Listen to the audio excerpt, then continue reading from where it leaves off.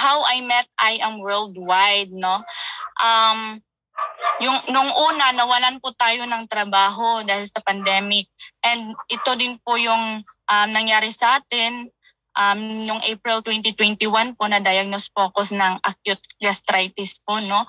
Sobrang hirap po niyan nagpa-admit na po talaga ako niyan dahil po ay ako po ay meron na pong nararamdaman. Aside po sa um, nararamdaman ko po sa tiyan ko sobrang hirap po talaga no yung gusto mo pong um, pasintabi po no baka meron pong mga kumakain um, gusto ko gusto ko po talaga niyan na umutot pero um, hindi ko po talaga magawa dahil sobrang sakit po talaga ng tiyan ko. Feeling ko po is marami po talagang hangin yung aking tiyan.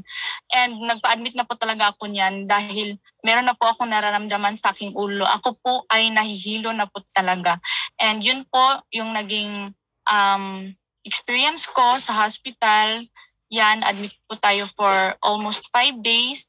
And pagkatapos po niyan, isa bahay na po tayo, na-discharge na po tayo. Pero ganun pa din po yung nararamdaman ko. Grabe lang po, no? Sobrang sobra po talagang hilong-hilo talaga ako. Whole day po talaga ako po ay nakahiga lang po sa aming kama. Sobrang hirap po talaga, hindi po talaga ako makatayo kahit kahit tayo lang po, hindi po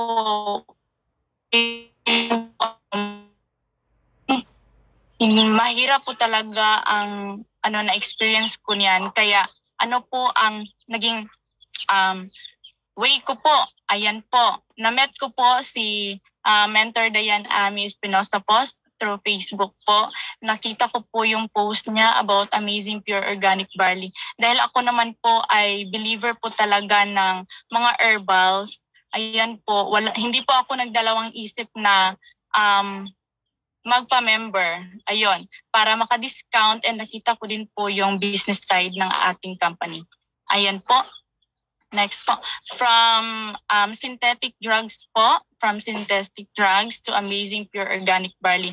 Ayan po, yung nireseta lang po ng doctor is, um, tinake ko lang po yun ng for almost ano lang po, mga two weeks.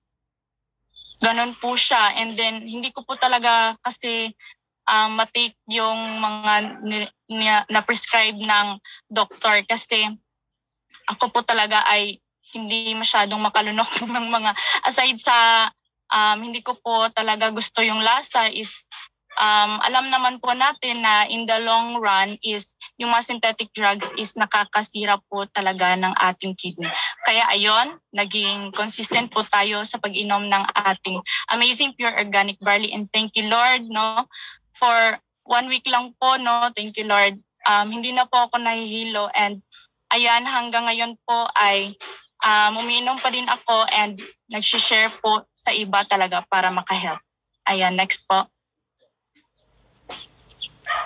Ayan, hindi lang po ako ang may um, testimony ng ating amazing, super amazing pure organic barley.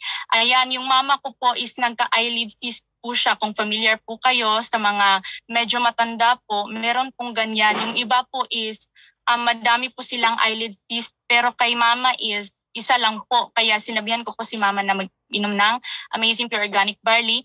Pero sa kanya po is um, capsule po yung sa kanya. Um, yung isang sachet po ng ating Amazing Pure Organic Barley is equivalent po nun is 6 capsules.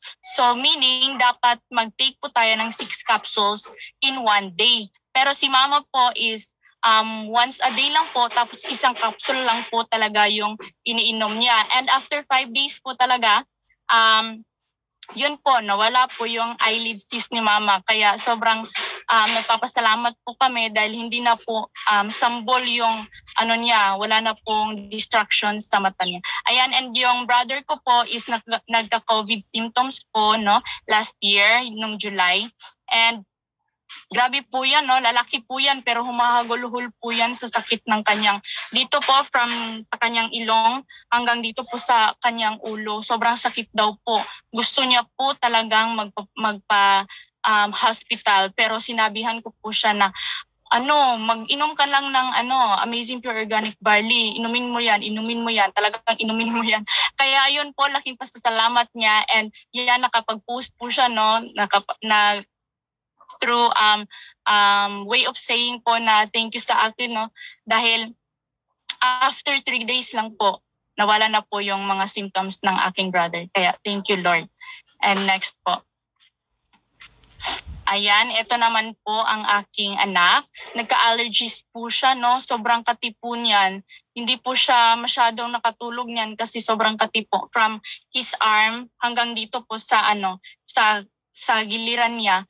Um, yan po yung sobrang katikati po and nagpula-pula pa po yung ano niya, yung arm niya pero sinabay ko lang po yung Amazing Pure Organic Capsule natin, yung isang capsule. Um, ino-open ko po yon tapos nilalagay sa um, sa milk niya kaya ayon um, after ilang days lang po is ganyan. Nawala na po, wala na po, hindi na po makikita yung mga rashes niya. And yung fever niya po is um, for three days lang po is nawala na po. Ayan po ang aking anak. Um, nag-green pa, as you can see, meron pang green-green sa milk niya kasi hinahalo ko po yung um, amazing pure organic barley po natin. Ayan, yan na po yung arm niya ngayon. Wala na po talagang allergies. Thank you, Lord. Ayan, next po.